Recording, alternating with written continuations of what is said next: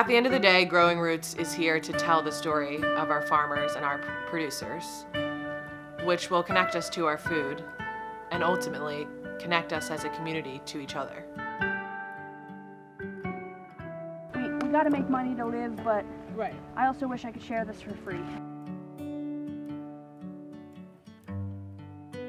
To support the very fabric of your community is to connect your community. And we have a real opportunity to do that here with food and with Growing Roots.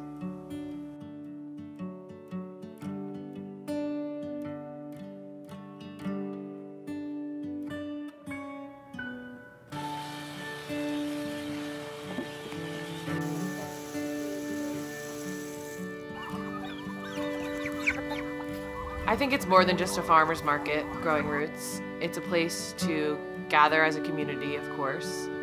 It's a place to support small businesses and farmers, food makers. But it's also a place to get everything that you might need as far as food and nourishment.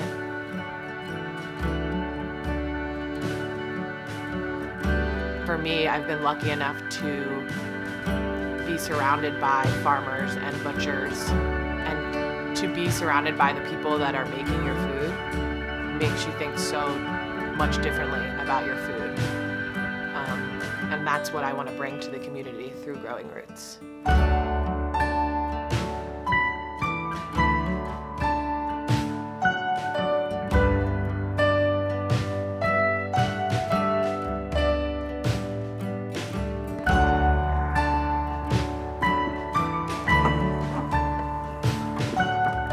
Yeah, it's very much a, like restaurant. Right.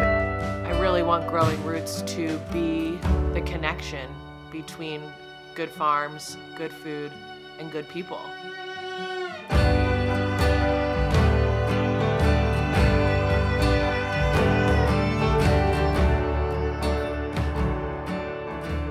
I really want Growing Roots to get people excited about local food.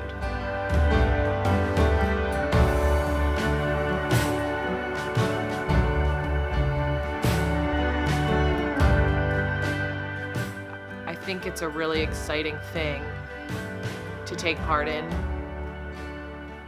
And once you understand it and are part of it, it's hard not to be excited about it.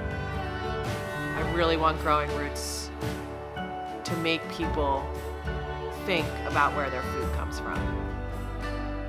That's the most important thing for me. That was like really hard.